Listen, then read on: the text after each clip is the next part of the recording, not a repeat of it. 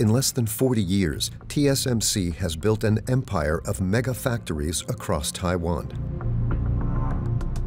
In the suburbs of Taipei, the TSMC factories are impenetrable. Corporate communication is strict. Interviews with employees are forbidden, as are images from inside.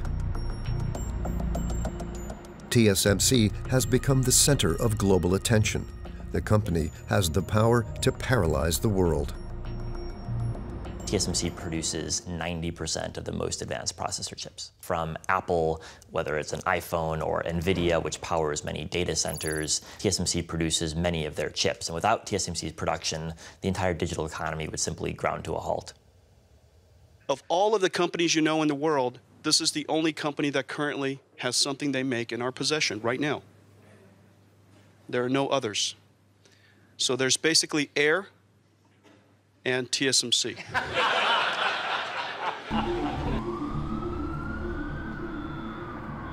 COVID was this massive accelerant. Now everybody's communicating online. Zoom became a common word, you know, not for a telescopic lens, but for how we communicate. The semiconductor industry was sort of rolling along at five or six percent kind of growth rate. And all of a sudden, when COVID happened, that bounced up to demand of 20 to 25%, but it also disrupted supply chains. So the supply went negative. There's a lot of analogy to what we saw in 1973, you know.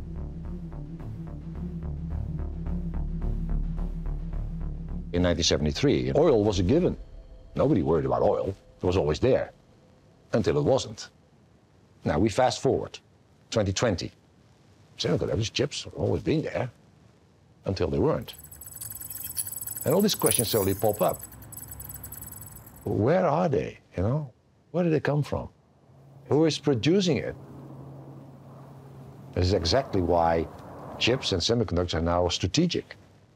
The pandemic has painfully exposed the vulnerability of chips supply chains. COVID-19 pandemic exposed the fragility of just-in-time supply chains.